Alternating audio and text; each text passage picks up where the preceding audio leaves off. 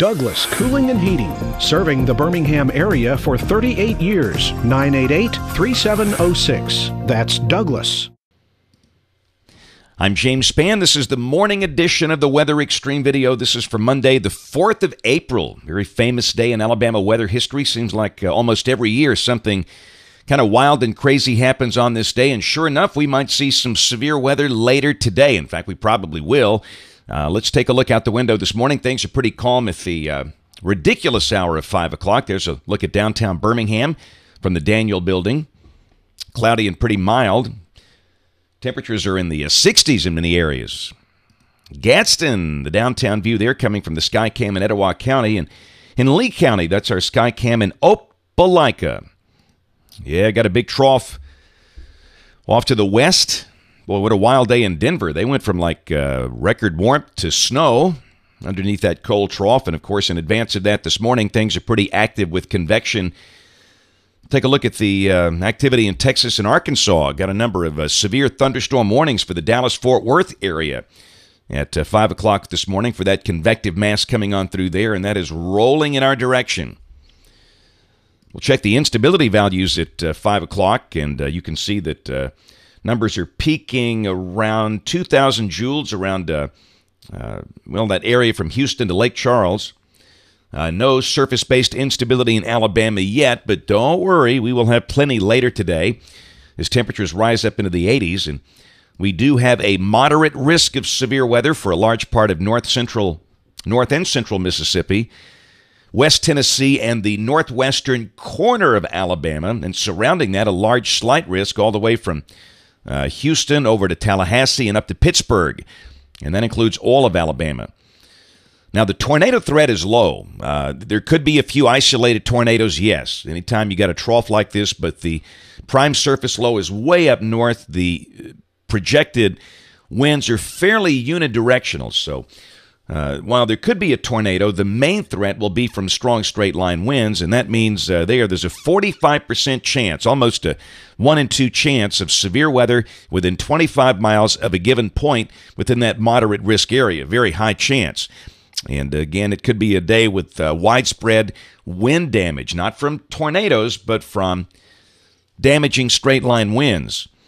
So uh, it's going to be a very active convective day, and the rain's going to be pretty heavy. We're expecting rain amounts of around one inch. Uh, you know, this thing will be moving very quickly, so that will prevent, I think, any flooding issues. The heavier totals uh, up north. All right, let's get down to the nitty gritty. Uh, this is the 0Z GFS at one o'clock this afternoon. There's your trough, and down below that, yeah, the surface low is moving up into Canada. Uh, 988 millibars, and there's no secondary low showing up on the front. So uh, more than likely, this will be a just a, a linear type thing, a squall line, quasi-linear convective system, QLCS. Check some of the parameters, and this is the significant tornado parameter along that line, and this is at four o'clock this afternoon, local time. And uh, and yes, that is a significant number, uh, over one. In fact, over two in spots from near uh, Jackson to Muscle Shoals in Nashville at four o'clock. But Without breaks, with, with this kind of dynamic forcing, often that number would be higher. But the reason it's lower is because of the lack of any back surface winds. This is the uh, supercell composite, and those numbers are higher, which you would expect. Look at the actual instability values, and again, this is at uh, 18Z. This is at 1 o'clock this afternoon, and uh, the numbers are up to about 1,500 joules here. And of course, the you know the peak of the daytime heating process comes a little later, so we figure instability values will be between 1500 and 2000 joules by say four or five o'clock as the line approaches. But again, the good news: the low-level helicity is not very impressive at all. Uh, the bigger numbers are up in New England, and again, that's because of the lack of any deep surface low down here. So. Let's check the timing. That's the next big question uh, with with the RPM, and understand this is just a guideline. This is not the gospel. The weather's going to do what it's going to do. This is valid at 21Z, which is 4 o'clock local time. And at this point, the RPM has the uh, squall line from near Huntsville down to about Hamilton and then down into uh, Mississippi. We'll go to 7 o'clock this evening, local time. And uh, the squall line is approaching Birmingham, is coming on through Tuscaloosa, approaching Gadsden. 10 o'clock tonight, it's on to the south, approaching uh, Roanoke and Montgomery. And just after midnight, it's way down in southeast Alabama. So, you know, in terms of timing, we'll say probably the core threat will be uh, from about uh, 3 o'clock this afternoon until 9 o'clock tonight, with the risk maybe a little later than that into deep east Alabama.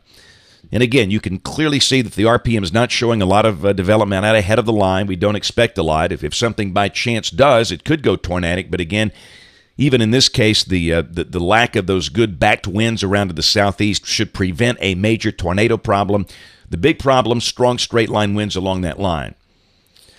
All right, let's go to Tuesday tomorrow at uh, one o'clock. Everything's out of here. The trough axis onto the east. Uh, the sky should clear. The 540 line almost down to well, it's down to Chattanooga, and maybe some evidence of snow flurries up in Kentucky and West Virginia with this. Uh, we'll forecast a clearing sky tomorrow, and we won't get out of the 50s. It will be a much, much cooler day. And again, Wednesday morning, uh, look out now. This is our late season frost issue we've warned you about. I don't think it will be a widespread damaging freeze. Will the colder valleys touch the freezing mark? Yes, I do think places like Valley Head will get down to 30 or so Wednesday morning. Most places in the mid 30s with frost. So uh, if you have any kind of plants that would be harmed by that, you want to protect them and cover them up. But during the day, we warm up in a heartbeat. We should warm up into the uh, right, right around 70 by Wednesday afternoon.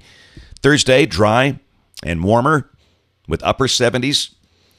And Friday, this is the end of the week. Look at the big trough out west, the big upper low.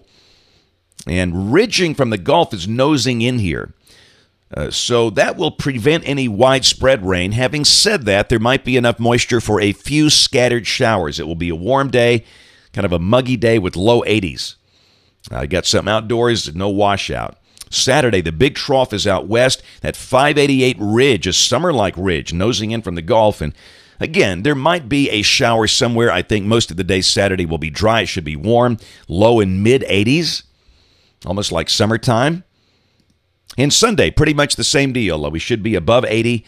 Uh, there, there's a small risk of a shower, but the big action is going to be off to the west, a, a sub 1,000 millibar low that's near Kansas City with the trailing front. That might bring some severe weather out there. And then Monday, a week from today, the big trough that was out west lifts out toward the Great Lakes. The ridge suppressed a little bit. And again, there could be some strong storms with that, but the deeper surface low is up north as well as the better dynamics. So hopefully that will prevent a major issue there a week from today. We'll check the end of the forecast April 19th. Eh, kind of a weak flow at 500 millibars, and down below that, uh, we're dry with another big storm. Uh, that's over the uh, upper high plains up there. That's it for the Weather Xtreme video today. We'll have notes on the blog. The next video by 3.30 or so today. And if you're local to us, we invite you to watch us on television this evening, ABC 3340 in Birmingham at 5, 6, and 10. Thanks for watching. Have a great day, and God bless. Thank you for trusting us to be your number one source for news in all of central Alabama. In back to back ratings periods, more people watched ABC 3340 than any other station in Birmingham.